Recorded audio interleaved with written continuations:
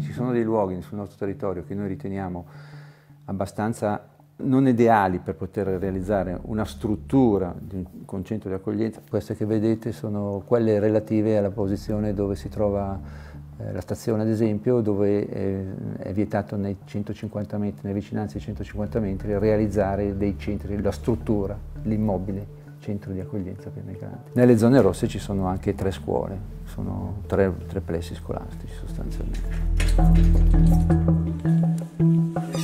Franchement, ça m'étonne parce qu'on a fait beaucoup, beaucoup de trucs.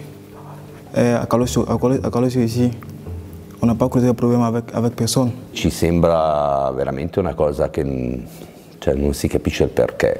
Perché la scuola, perché una biblioteca, perché un oratorio. C'è un'emergenza, c'è un problema. No, qui no, noi non lo vediamo. Noi non abbiamo avuto eh, problemi particolari anche perché i migranti sono tra i nostri studenti, quindi semplicemente sono accolti all'interno della scuola come vuole l'ordinamento dello Stato. Dunque Sindaco, da quale esigenza nasce questo provvedimento? A qui a pochi chilometri a Lecco c'è un centro di accoglienza dove sono state fatte già più volte retate, trovate droga, c'è lo spaccio, eccetera, eccetera.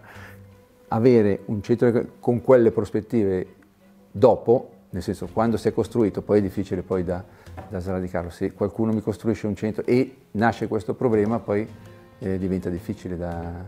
Quindi c'è tutto il territorio dove è possibile fare un centro di accoglienza, facciamolo laddove io ritengo che sia più utile per i migranti e per i cittadini. Et on a fait seulement que du travail volontaire. Et franchement, c'est ça qui m'étonne parce que je ne vois pas, on a, causé, on a causé quel problème avec les gens de Calosio, franchement.